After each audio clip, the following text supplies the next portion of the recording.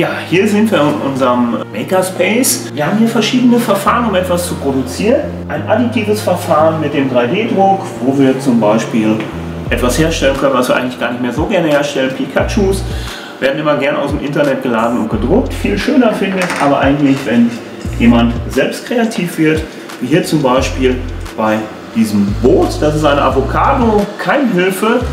Äh, steckt ein bisschen eine Geschichte hinter. Avocados fahren eine sehr weite Strecke, bis sie hier ankommen, verbrauchen sehr viel Wasser. Mit diesem Boot, was mit dem Wasserspiegel absinkt, kann man die sehr toll keimen lassen. Im Workshop geht es da ein bisschen drum, dieses Grunddesign im 3D-Verfahren äh, zu verstehen. Anderes Verfahren ist hier ein subtraktives Verfahren. Die Fräse nimmt Material weg, zum Beispiel hier unser ADHS Zebra.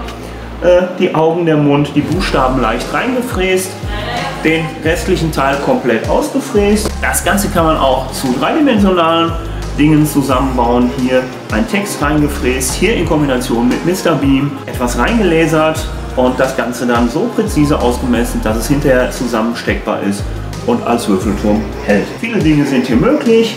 Für die etwas älteren gibt es zum Beispiel auch etwas Wanddeko, ein schöner Hirsch, der ein bisschen was mit Kräutern zu tun hat zum Beispiel.